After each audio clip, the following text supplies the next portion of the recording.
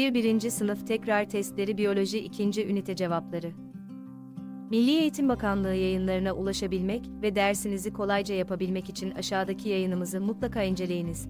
1. 1. Sınıf Tekrar Testleri Biyoloji 2. Ünite Cevapları SYF 1. 1. Sınıf Biyoloji Tekrar Testleri 2. Ünite Çözümleri Sayfa 170 2. SYF 1. Komünite yapısını etkileyen faktörlerle ilgili tanımlar ve örnekler karışık şekilde verilmiştir. Tanımlar I. Kilit taşı tür, komünitelerin yapısını kuvvetli bir şekilde kontrol eden tür.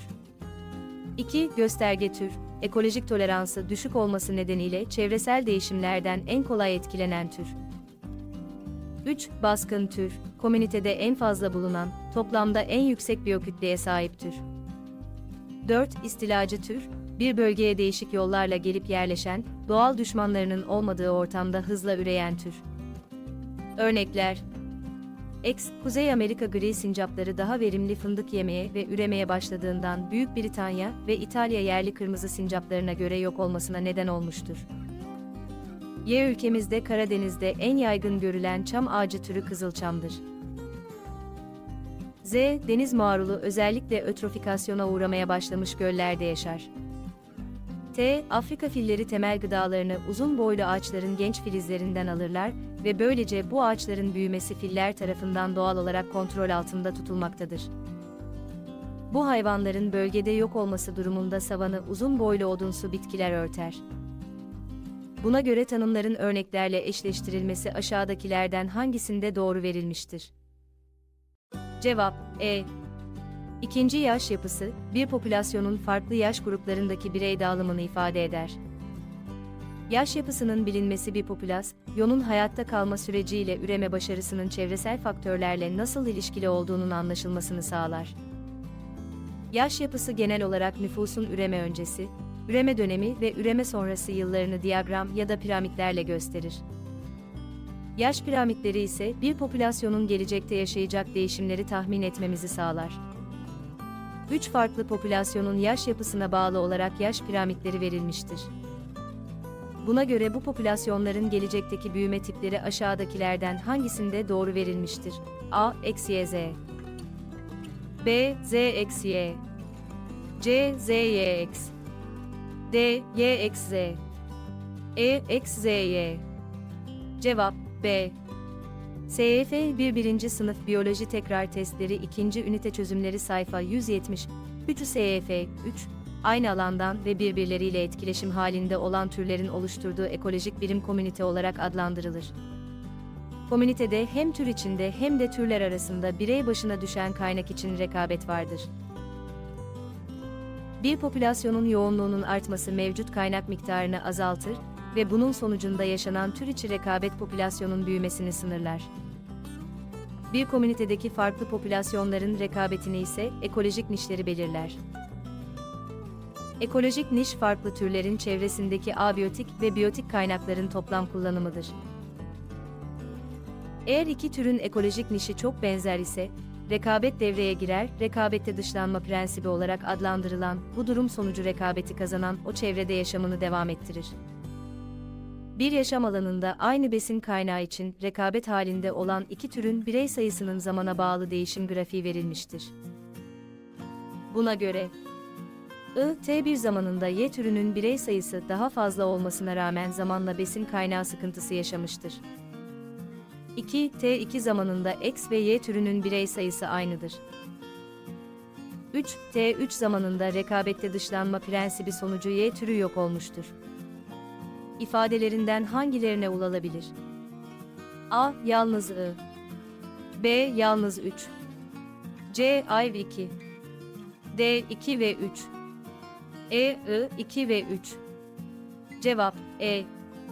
4. 1927 yılından itibaren Türkiye'nin nüfus ve büyüme hızı grafiği verilmiştir. Buna göre aşağıdaki yorumlardan hangisi yapılamaz?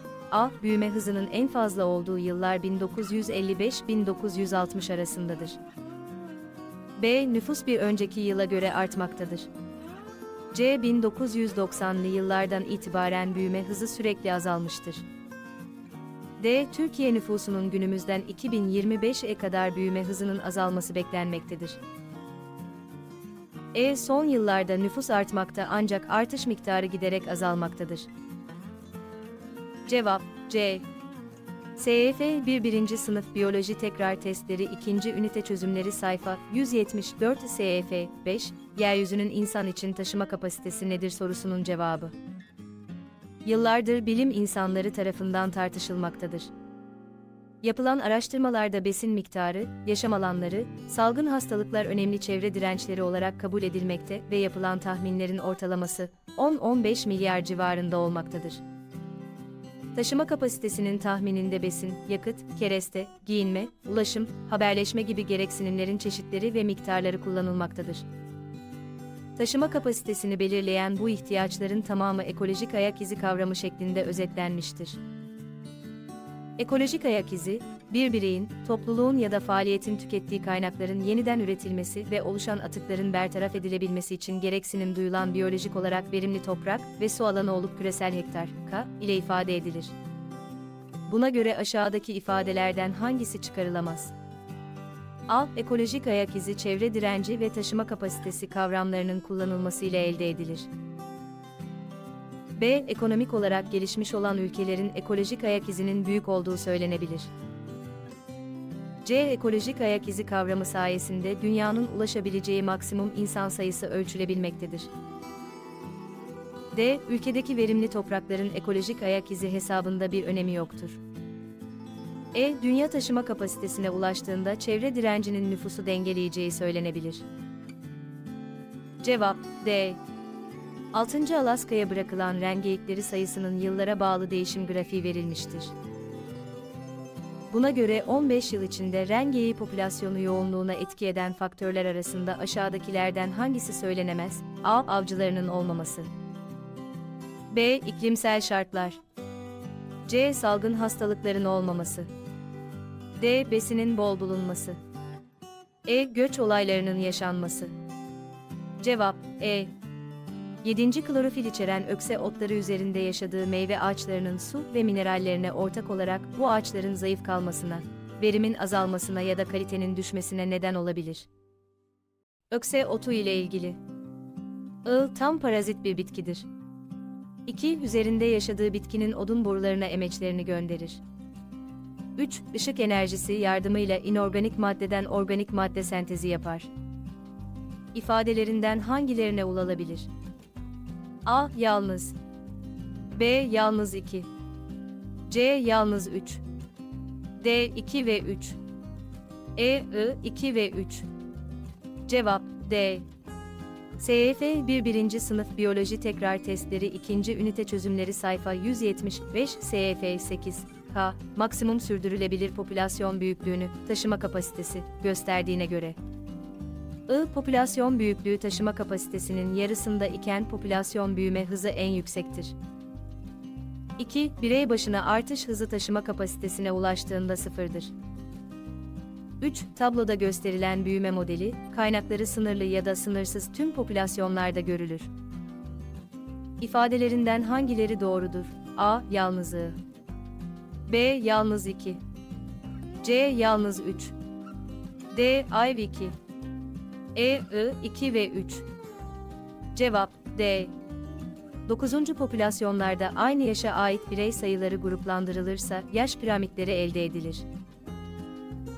Genç nüfusun 0-15 yaş fazla olduğu popülasyonlar büyümekte, yaşlı nüfusun 50 yaş ve üzeri fazla olduğu popülasyonlar küçülmekte, her yaş grubunun oranı birbirine yakın olan popülasyonlar ise dengededir. Gana, Almanya ve Amerika Birleşik Devletleri'nin 2015 yılına ait yaş dağılım piramitleri verilmiştir.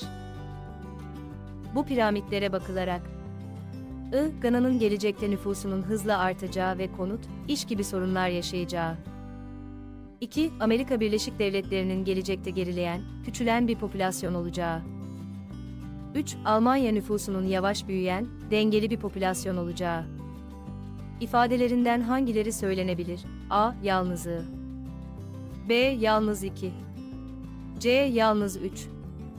D. Ayv 3. E. I. 2 ve 3. Cevap A. SEF 1. 1. Sınıf Biyoloji Tekrar Testleri 2. Ünite Çözümleri Sayfa 176 SEF 10. komünitede farklı iki türün birbirleriyle ilişki içinde olmasına ve bir arada yaşamasına simbiyoz yaşam denir. Simbiyoz yaşam çeşitlerinde canlıların birbirine etkileyiş biçimleri gösterilmiştir. Buna göre, I, alt tropikal ülkelerde yaşayan insanlarda şikistosoma türündeki bir solucanın idrar yolu veya bağırsağı enfekte etmesi sonucu bilharzis olarak da bilinen şistozomazis hastalığı görülür. 2. Ağzı, bağırsağı ve anüsü olmayan bir metre uzunluğunda olan Riftiapakaytila'da trofozom adı verilen bir organ bulunur. Bu organda bulunan çok sayıda sülfür parçalayıcı bakteriler Riftia'ya besin sağlarken, Riftia tarafından bakterilere de oksijen ve sülfür sağlanır. 3. Sığır, zebra gibi hayvanlar otlarken çeşitli böcekler de hareketlere neden olur. Sığır balıkçılları otlayan hayvanları takip ederek bu böcekleri yakalar ve beslenirler. Örneklerinin yaşam ilişkileriyle eşleştirilmesi aşağıdakilerden hangisinde doğru verilmiştir? Cevap C. 11. iki komünite arasındaki geçiş bölgesi şekilde gösterilmiştir. Buna göre I, A ve B bölgelerindeki birey sayısı C bölgesinden daha fazladır. 2. C bölgesinde tür çeşitliliği ve rekabet fazladır. 3. B bölgesindeki canlıların yayılış alanı C bölgesine göre daha geniştir. İfadelerinden hangileri doğrudur? A. Yalnız I. B. Yalnız 2. C. Yalnız 3. D. Ayv 2. E. I. 2 ve 3. Cevap E.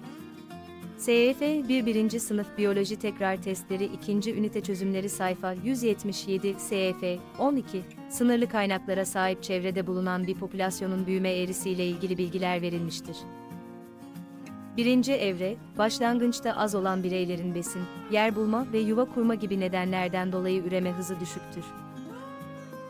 İkinci evre, popülasyonun çevreye alıştığı ve uyum sağladığı için doğum oranı yüksektir. Üçüncü evre, taşıma kapasitesine yaklaşır ve çevre direnci artmaya başladığından dolayı büyüme hızı geriler. Dördüncü evre, popülasyon büyüme hızı sıfırdır ve taşıma kapasitesine ulaşılmıştır. Buna göre popülasyonun büyüme eğrisi aşağıdakilerden hangisinde doğru verilmiştir? Cevap A. 13. belirli bir çevrenin devamlılığını sürdürebileceği maksimum popülasyon büyüklüğüne taşıma kapasitesi denir. Taşıma kapasitesini aşmış bir popülasyonda aşağıdaki ifadelerden hangisi gerçekleşmez? A. Popülasyon büyüme hızı azalır. B. Çevre direnci azalır. C. Popülasyon dışına göç ya da ölüm artar. D. Yaşam alanı daralır. E. Üreme ve besin için tür içi rekabet gözlenir. Cevap D. SYF 1. 1. Sınıf Biyoloji Tekrar Testleri 2. Ünite Çözümleri Sayfa 178 SYF 14 Aynı alanda yaşayan farklı türler arasında gözlenen birey sayılarındaki değişim modelleme üzerinde gösterilmiştir. Buna göre X ve Y canlıları arasındaki ilişki aşağıdakilerden hangisidir? A. Av avcı B. Rekabet C. Mutualizm D. Parazitlik E. Amensalizm Cevap A. 15. popülasyon büyüklüğündeki değişim, doğum ve içe göçlerin toplamının, ölüm ve dışa göçlerin toplamından çıkarılmasıyla elde edilir. Bir popülasyondaki birey sayısının zamana bağlı değişim grafiği verilmiştir. Buna göre, I, T1 zaman aralığında içe göç oranı dışa göçten daha fazla iken doğum oranı ölüm oranına eşittir. 2. T2 zaman aralığında doğum ve içe göçlerin toplamı ölüm ve dışa göçlerin toplamına eşittir. 3. T3 zaman aralığında doğum oranı ölüm oranından, içe göç dışa göçten daha fazladır. İfadelerinden hangileri doğrudur? A. Yalnızlığı B. Yalnız 2 C. Yalnız 3 D. Ayv 2 E. 2 ve 3 Cevap E. 16. parazit beslenen X ve Y canlılarına ait bazı özellikler tabloda verilmiştir. Buna göre I, X pire, Y bağırsak kurdu olabilir. 2. X ve Y'nin sindirim sistemleri tam gelişmiştir. 3. Heterotrof beslenmek her iki canlı için ortaktır. 4. Aktif yer değiştirme dış parazitlerde görülür. İfadelerinden hangileri doğrudur? A. Yalnız 2 B. Yalnız 4 C. I. 2 ve 3 D. I. 3 ve 4 E. I.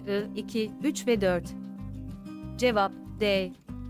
SEF 1. 1. Sınıf Biyoloji Tekrar Testleri 2. Ünite Çözümleri Sayfa 179 SEF 17 Bir popülasyonu oluşturan kurtların yayılış alanında gösterdikleri dağılım şekilde gösterilmiştir. Bu dağılım ile ilgili aşağıdaki ifadelerden hangisi yanlıştır? A. Doğada en yaygın dağılım modelidir ve bireylerin belirli alanlarda toplandığı dağılım şeklidir. B. Grupların içerdiği birey sayıları ve gruplar arası uzaklık genellikle aynı değildir. C. Kurtların dağılım şekli bireyler arasındaki etkileşimin en fazla olduğu kümeli dağılımdır. D. Daha kolay avlanma ya da avcılarına karşı savunma amacıyla bireyler bu tip dağılım gösterilebilir. E. Karahindiba bitkisinin rüzgar etkisiyle tohumlarının dağılması ve daha sonra çimlenmesi olayı bu dağılıma örnektir. Cevap E. 18. popülasyonların yaş dönemine bağlı hayatta kalma durumunu belirten grafiklere hayatta kalma eğrisi denir. Erkek ve dişi Beldinger sincaplarının hayatta kalma eğrisi verilmiştir. Buna göre I, erkek yer sincapları dişilere kıyasla daha düşük hayatta kalma oranına sahiptir. 2. Dişi yer sincaplarında ölüm riski daha çok ileri yaştaki bireylerde görülür. 3. Yaşı az olan erkek yer sincabında ölüm oranı en fazladır. İfadelerinden hangilerine ulaşılamaz? A. Yalnız I. B. Yalnız 2. C. Ay 3. D. 2 ve 3. E. I. 2 ve 3. Cevap D. SEF 1. 1. Sınıf Biyoloji Tekrar Testleri 2. Ünite Çözümleri Sayfa 180, SEF 19. Bir popülasyonun büyüme hızının zamana bağlı değişim grafiği verilmiştir. Buna göre I, T1 ve T3 zaman aralığında popülasyondaki birey sayıları birbirine eşittir. 2. Sadece T2 zaman aralığında birey sayısı artmıştır. 3. Popülasyondaki birey sayısının en fazla olduğu zaman aralığı T4'tür. İfadelerinden hangileri doğrudur? A. Yalnız I. B. Yalnız 2. C. Yalnız 3. D. Ay 2. E. 2 ve 3. Cevap C. 20. dengede olan bir popülasyonun birey sayıları değiştiğinde popülasyonun tekrar dengeye ulaşmasını sağlayan etkenler şekilde gösterilmiştir. Buna göre numaralandırılmış yerlerden hangilerine artar ifadesi yazılması doğru olur? A. Ayrı 3 B. 2 ve V C. I. 2 ve 6 D. 2, 4 ve 6 E. I. 3, V ve 6 Cevap D. 1. 1. Sınıf Tekrar Testleri Biyoloji 2. Ünite Çözümleri ile ilgili aşağıda bulunan emojileri kullanarak duygularınızı belirtebilir aynı zamanda sosyal medyada paylaşarak bizlere katkıda bulunabilirsiniz.